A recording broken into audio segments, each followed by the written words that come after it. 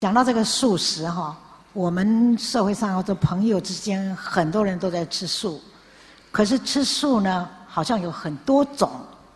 有的人说什么吃早上的就吃早斋，有的人呢说什么一个月吃吃几天的这六斋日，甚至有的人说啊不必那么麻烦，我吃肉边菜，或者是叫做三净肉，有各种吃素的方法。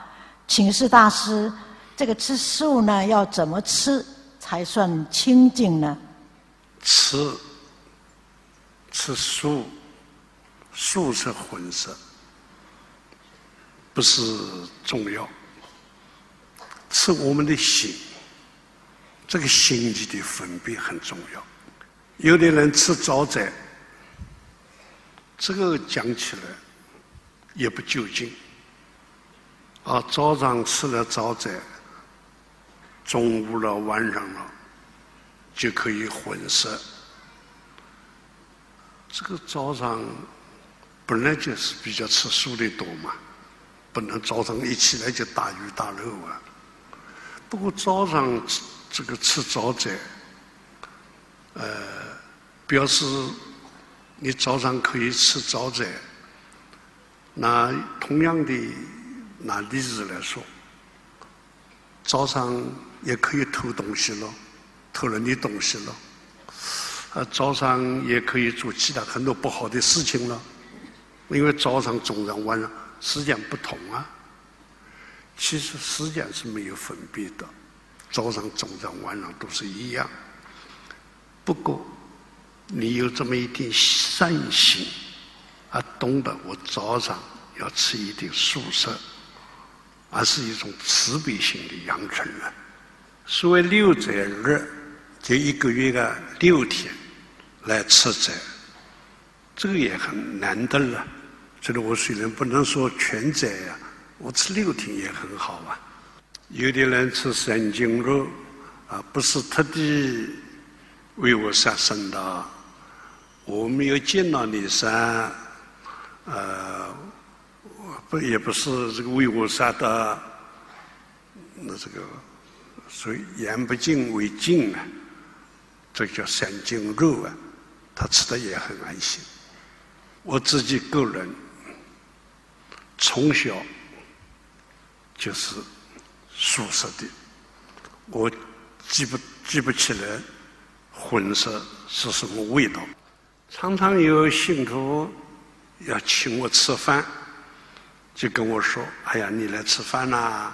我特地呀，这个把家里的锅啊、碗呐都洗呀、刷啊，很干净啊。你放心，我真的有心要去吃，我都跟他讲没有关系。你不要洗，不要刷，你煮过肉的锅，你就煮一碗菜给我吃。我是吃的菜呀，不是吃的你的锅啊。像我这样一生。”与荤食没有接触的人，当然现在的呃面包啦，什么这个塑料啦，有的都有荤腥的味道。我一吃就感觉出来，但是为了这个大家都在吃，我不好说啊。明明一块那个素丸子吃到嘴里，那个明明是鱼的味道嘛，好腥啊！也值得皱起眉毛了，把它吞下去，抿的很难看呐。有一次，我和一位老法师，因一个小小的校长说请我们吃水饺，那个小小在郊区，礼拜天假期嘛。啊，他就下水饺给我们吃。水饺上桌了，他家里没有人，就是个校长一个人，也快要一点了，我们就吃了一个水饺。哎呦，鸡蛋韭菜包的水饺嘛！我看看那个老法师啊，他一定不懂损色，他也吃第二个。我当然也不懂吃，也吃第二个。那么这一大盘呢，我们统统都吃完了。那个校长说：“哎，还有还有，我再去租。”他去租了。这个南京法师，那个老法师就跟我讲：“嗯，他说好像鸡蛋就在包里睡觉哎。”我就说：“鸡蛋就在包里睡觉。”他说：“哦，那我不吃了。”他就放下筷子。我即刻我说：“我也不吃了。”吃饱了，当然就不吃了。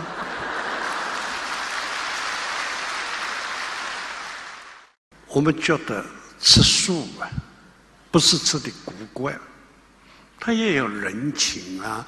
你说你不吃，到下午了，你要叫那个校长到外面再去重买什么来给我们吃吗？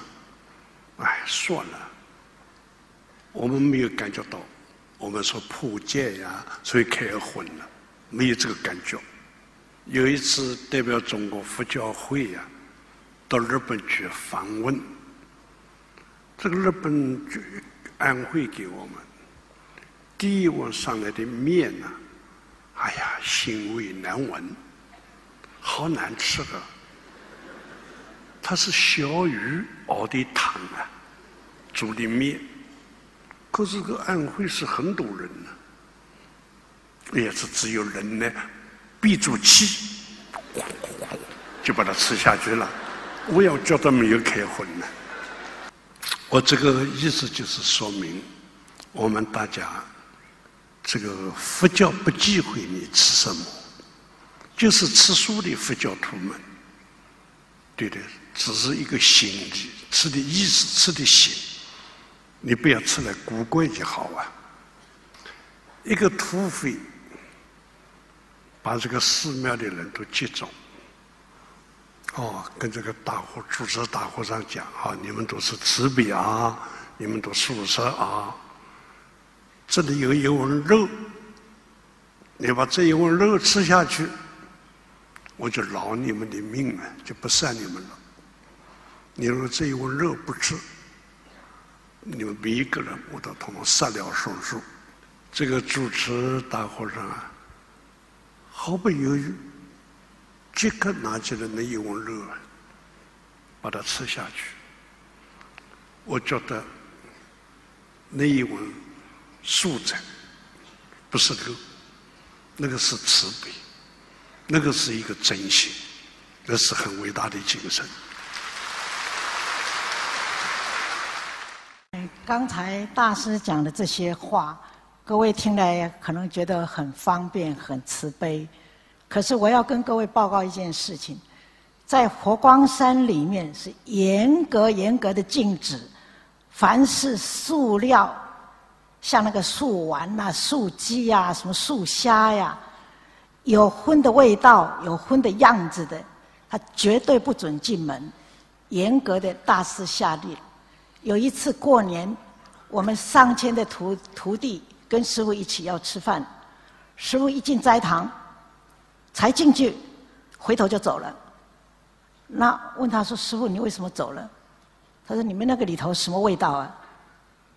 后来他们知道是一个素丸，有模仿那个荤的味道。那点做厨房的人很惶恐，他说：“这个是因为信徒送来供养的，我们不能不用。”但是师傅就说：“我的规矩讲过了，你这样煮我不吃。”这是活光山。